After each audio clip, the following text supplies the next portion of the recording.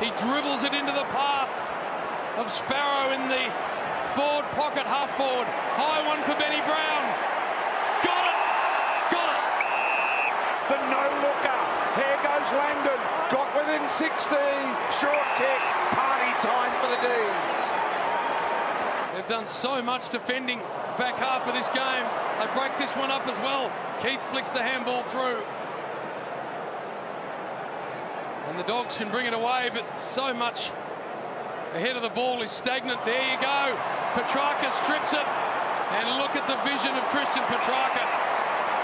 Goes long and ahead of Jackson. Cordy from the side with the big spoil.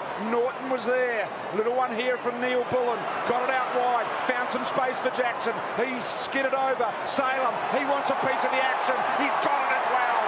He has got it. Brown to Brayshaw. Sparrow working hard, and Fritsch is going to get another look. Tom McDonald times the ticking.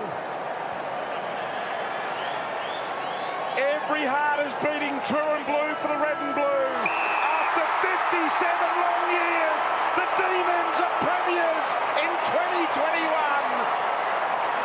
Extraordinary start.